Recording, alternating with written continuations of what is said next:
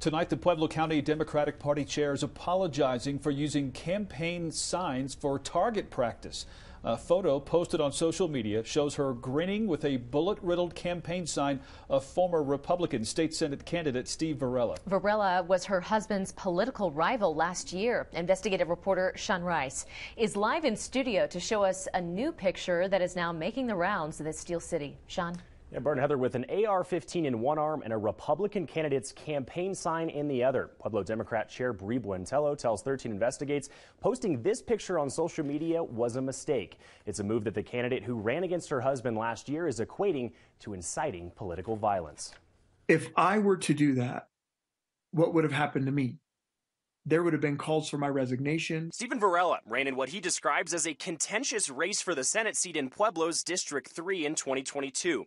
He ran against Senator Nick Hinrichsen, who is married to Pueblo Democrat Chair Bri Buentello. For her to specifically pick mine, pose with the AR 15, hold the yard sign with the bullseye, it just didn't make sense. Varela is now a member of Colorado's Board of Education, and he was not happy when this picture showing his bullet ridden campaign sign being used for target practice popped up on social media. You never think when you're running for office that in a small community like this, and when you're involved in education, that you're you're going to see this type of violence incited against you. Buentello tells 13 Investigates she took her kids out shooting last weekend and used recycled yard signs to shoot at. She says she realized her mistake early on and reached out to Varela to apologize.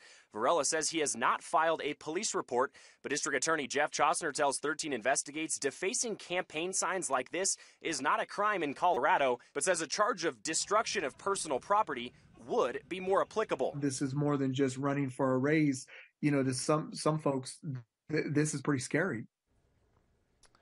In Buentello's apology to Varela, she stated she did not mean for it to be a personal attack and admitted it lacked professionalism. But nevertheless, Varela says this damage has already been done.